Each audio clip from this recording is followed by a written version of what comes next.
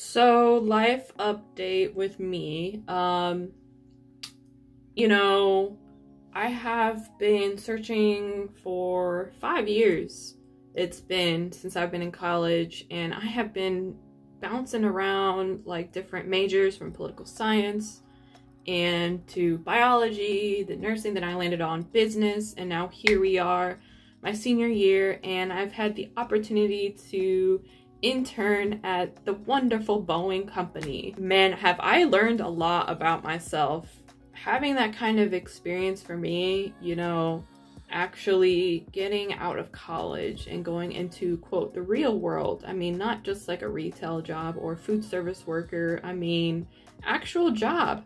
And um, that really opened up my eyes. You know, I, I think the key thing that everyone needs to kind of focus on if they're looking for what they want in a job or career, or if they have no idea, you need to shock your system.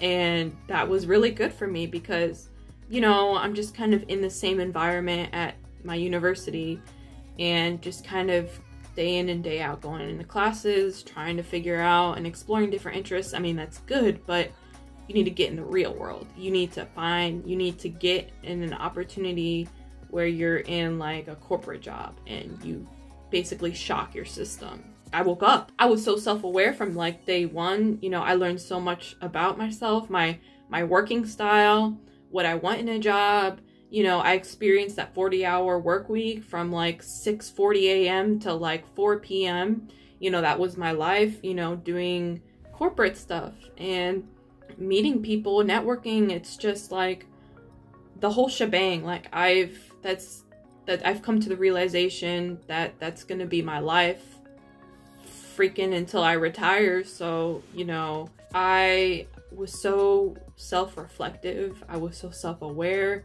that I learned so much and there was one weekend where I was sitting at a coffee shop and I had a notebook trying to plot out my next steps. I wrote out things I want to accomplish in my 20s. And I wrote out my hobbies. I wrote out what I wanted to do.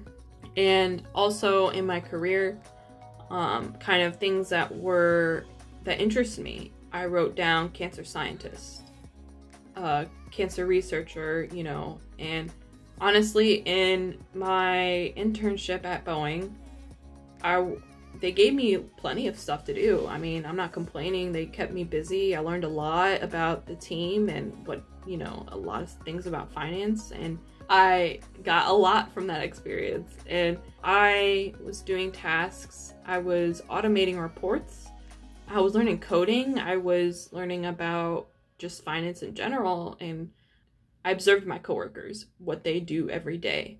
That is their life. They do the same thing every day although it's kind of different, it's the same type of stuff. And I was sitting there and I was just like, I can't do this for the rest of my life. I, I wouldn't last long.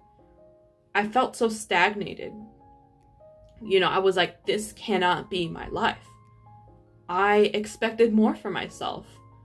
From then on, I knew that I wanted to achieve something higher I was more ambitious. I, I just, I know that about myself, but I just don't know what. I don't know what to direct it towards. I don't know my interest. But I know that I crave furthering my mind intellectually.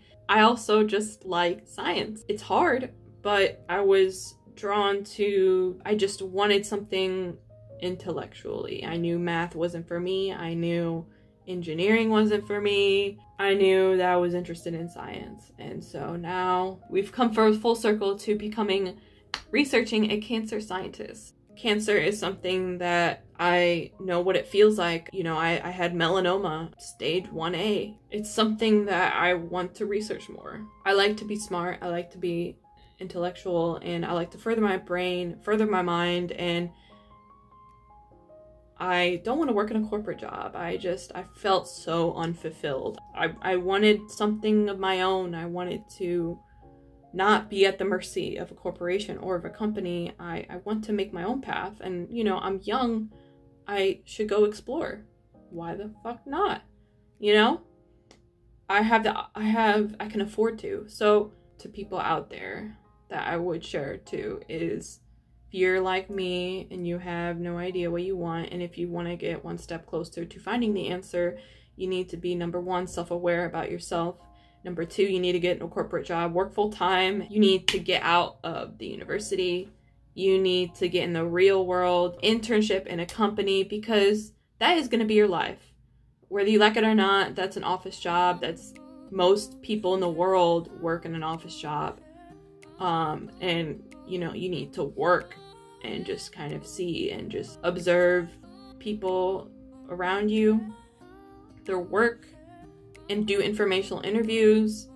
And number three, go out there and just attack the world because I just felt so like comfortable with the university life that I wasn't really experiencing the real world and it was good for me to like shock my system. And then you'll start to like get all these perspectives about what you want, your interest, your your work ethic, habits, everything.